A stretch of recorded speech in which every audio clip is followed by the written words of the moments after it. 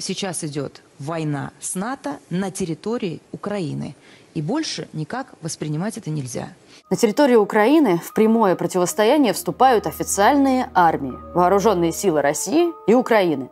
На стороне РФ также воюют наемники из различных ЧВК и других нелегальных вооруженных формирований. А на стороне ФСУ небольшое количество иностранных легионеров, в том числе граждан России, легализованных местным законодательством. На сегодняшний день нет ни одного зафиксированного факта прямого участия армии какой-либо из стран НАТО в этой войне. Поэтому говорить о прямом противостоянии России и НАТО в Украине в корне неверно.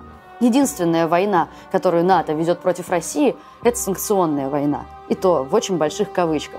Россия находится под самыми масштабными экономическими санкциями в истории, но даже они не обрушили экономику РФ.